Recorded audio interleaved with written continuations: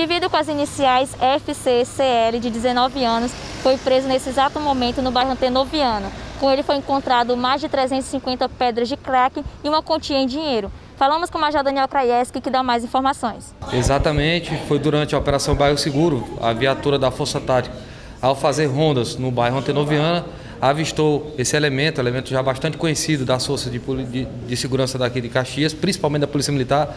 Já o abordamos é, várias vezes já com entorpecentes e dessa vez ele foi é, é, pego com uma quantidade muito grande de entorpecente, uma quantidade também razoável em dinheiro, dinheiro trocado, dinheiro já oriundo da venda de entorpecentes quantidade é, elevada de cracks, são mais de 350 pedras de cracks pequenas e uma quantidade maior ainda de, de pedras grandes. E faz parte da Operação Bairro Seguro, a viatura da Força Tática, que já faz seu patrulhamento normal, rotineiro, e também é, contribuindo com a Operação Bairro Seguro, consegue adentrar cada vez mais nos locais de difícil acesso, em todos os bairros aqui da cidade de Caxias.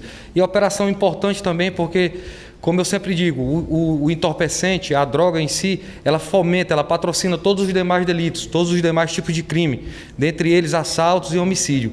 Então é muito importante, é de suma importância para a sociedade retirar um indivíduo desse nocivo do seio da sociedade. Exatamente, a, a prisão, a detenção e o encaminhamento de um indivíduo desse para o sistema prisional é necessária. A gente acredita na ressocialização, acreditamos que ele possa retornar lá com outro pensamento, com, com outra ideia, realmente para voltar ao seio da sociedade e realmente viver de acordo com o que dita as normas e a legislação do nosso país.